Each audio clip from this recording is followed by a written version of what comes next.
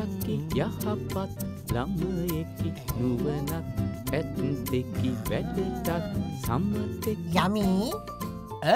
මොනවතනි ඔය යමි අහන්නේ? මං මේ රේඩියෝ එක අහනවයමි රේඩියෝ එක අහනවා?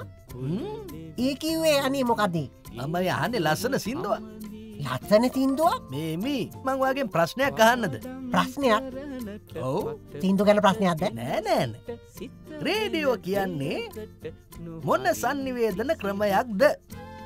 මොක සන්දිවේදන ඒ මොකක්දනේ අපිට තොරතුරු ලබා දෙන මාර්ගවලට තමයි සන්නිවේදන ක්‍රම කියලා කියන්නේ.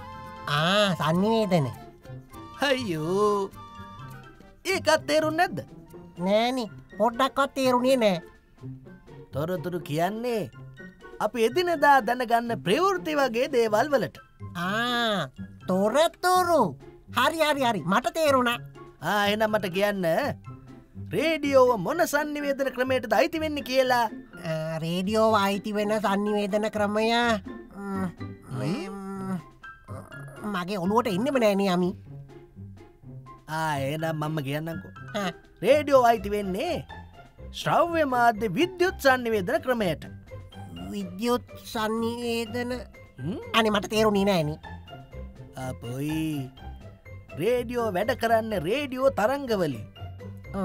ඒ තරංග හදන්නේ විදුලියෙන්. ඒහින්දද විද්‍යුත් සන්නිවේදන ක්‍රමයක් කියන්නේ. එතකොට ශ්‍රව්‍ය මාධ්‍ය කියන්නේ රේඩියෝවෙන් එන්නේ සද්ද විතරනේ. ඒ හින්දයි ශ්‍රව්‍ය මාධ්‍ය කියලා කියන්නේ. මේ එතකොට රූපවාහිනිය මොන මාධ්‍යයට අයිති වෙන්නේ යමි? රූපවාහිනිය ශ්‍රව්‍ය දෘශ්‍ය මාධ්‍යයට. ශ්‍රව්‍ය දෘශ්‍ය මාධ්‍ය. අන්න හරි. ඔව්. ඒ කියන්නේ ශබ්දය වගේම රූපත් තියෙනවා. ආ චප්තය වගේම රූපත් තියෙනවා.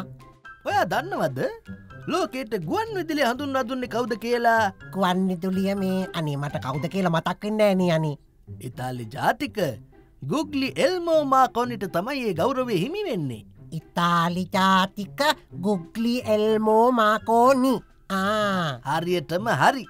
එතකොට ලංකාවට රේඩියෝ ආව කවද්ද? එද්දාස් නමසය විසි පහේදී. රේඩියෝ සිලොන් ආතනෙන් තමයි මුලින්ම රේඩියෝ විකාශනය ලංකාව පටන් ගත්තේ.